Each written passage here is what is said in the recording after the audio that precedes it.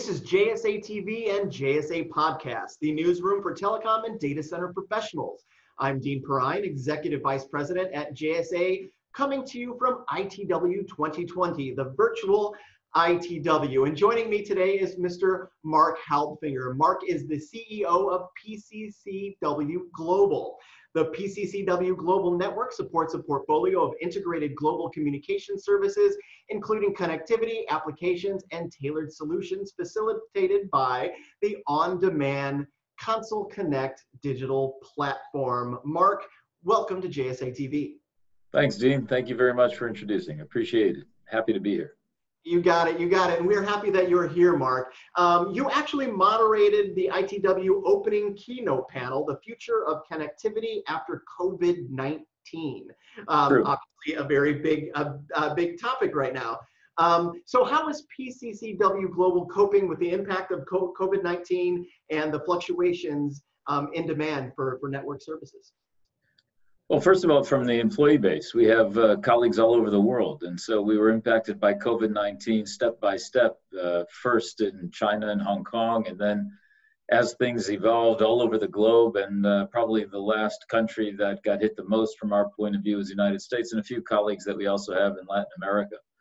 Uh, severe impact to some of our colleagues in Europe, actually and uh, it's been difficult. And so, first of all, to the employee base from PCCW Global around the world, I congratulate you for your resilience, and to all of the colleagues who've been involved in providing uh, all forms of ICT services during this period. I think that uh, we've demonstrated that the industry is both critical and resilient all at the same time. Uh, we've been coping okay, thankfully. The business has actually done better.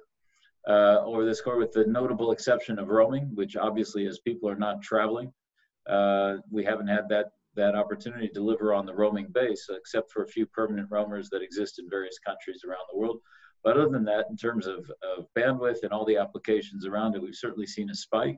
And all of our colleagues, whether working from home or under strained conditions, have been successful in delivering value to end users.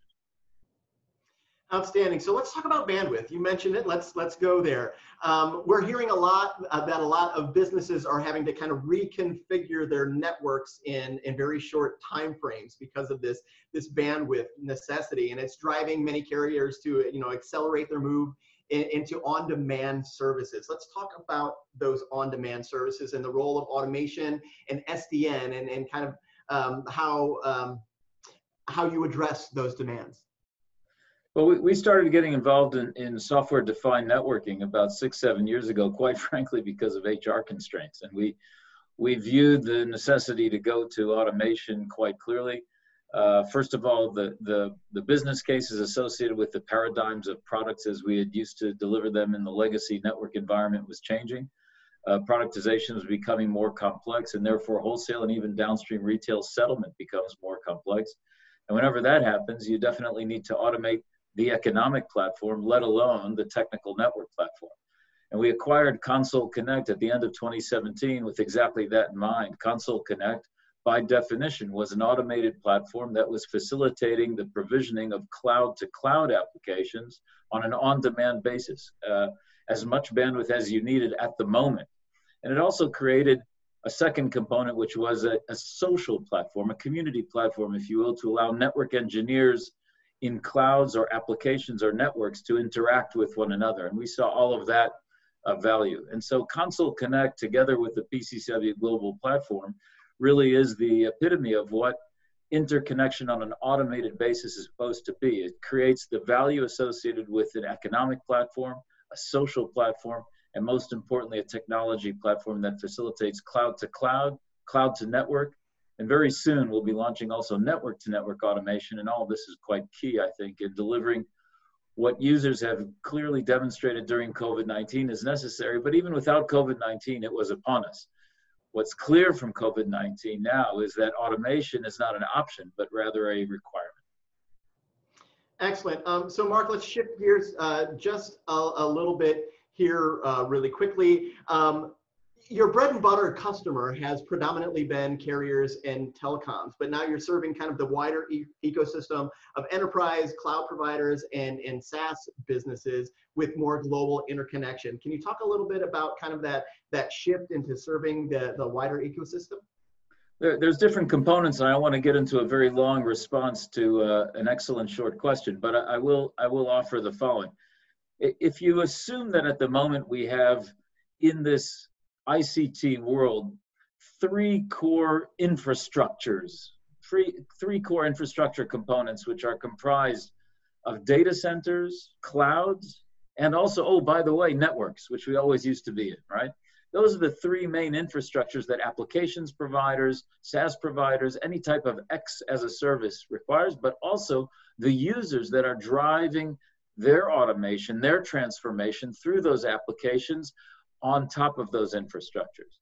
We acquired Console Connect and put it at the center of what we do, effectively replacing for a moment that we used to come from network centrism to the point where we're now technology centrist. And we've formed Console Connect as the meeting place for infrastructures and applications so that a user of infrastructure can meet a user of applications across the social community side of Console Connect and deliver its technological automation side. I think that's the, the basics of where we're at. We've had to change our mindset in order to do it, and I'd be happy to share more if that's of interest. But I think it's uh, that, that's where, where we've come from. And in doing that, we've obviously step by step migrated our wholesale capability to also enterprise. We've always been an enterprise, we've always been a B2B player, but we've often been to B2B through interconnect relationships that we have with other carriers, with other service providers. These were physical NNIs. That DNA of interoperability and interconnections we've brought with us to our technology centric space.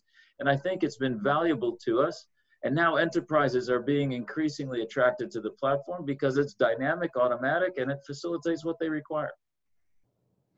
Excellent, Marc. Um, and perfect segue really into my next question. So thanks for that. Um, but we're finding that a lot of carriers are finding it kind of tough to transform both culturally and their technology platforms in the existing environment, knowing that this is really kind of the new normal.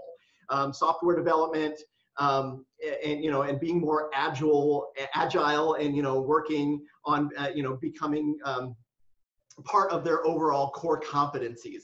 Well how is pcc global kind of changing in this regard? I, I suspect that it kind of starts from the ground up but why don't you tell our viewers a little bit more about you know kind of existing in this new environment? Well that, interesting you say because when you uh when you're a tech company that's in startup mode and entrepreneurial and so on, you, you don't bring any baggage with you. You're just coming sort of with a with a knapsack or carry on and and and that's it, right? And and here we have a large amount of uh, of background. I don't want to call it baggage, but a large amount of background to the point where we're integrating network hardware's capabilities together with software capabilities. So first step is to get to common nomenclature, common language amongst the employee base of what it is that we're doing and where we're going. If I say the word infrastructure to a guy who focuses on code, he's thinking about databases, different types of, of uh, code languages, and so on. If I say infrastructure to one of my physical network guys, they're thinking duct, they're thinking fiber, or someone else might be thinking data centers. The first thing is get to common language. And then you have to assure that you have a common objective. You have to set that mode in place. You have to make sure that it's happening from the top down and from the bottom up and that everybody understands it. And so after we acquired Console Connect, we took a, a big stop amongst our management team. We went away for thought processes and training, and we came across Agile, but in the form of SAFE. SAFE is an acronym that stands for Scaled Agile Framework. And we decided to adopt SAFE 4.0 and later 5.0 throughout our organization, and that's been deployed over the last couple of years. That required us to train up the entire employee base, the management team themselves to certify, and it required everyone to think along the same lines to make sure that we were all headed in a common direction with the same tool set and that we understood when physical network was priority and when coding and software was priority all of it in order to achieve the objectives of value that i described to you in the earlier question. And so i just want to you say agile and it's common for people to think about the word agile as if it means speed. But frankly agile was created as a framework and the wonderful thing about SAFE is that it facilitates that framework also for large corporations and not just for software code designers. And that's been the good thing for us, having that common framework, having everyone aligned to it. Uh, we did take our time in order to get there, but now we have multiple agile release trains running throughout the organization. Everything is transparent. We know where things are going. And we have a very clear roadmap for deliverability, bad word, but nevertheless, that's what we do in terms of everything that's happening, both on the physical side as well as on the soft side. And I think that it's been outstanding for us as a cultural transformation.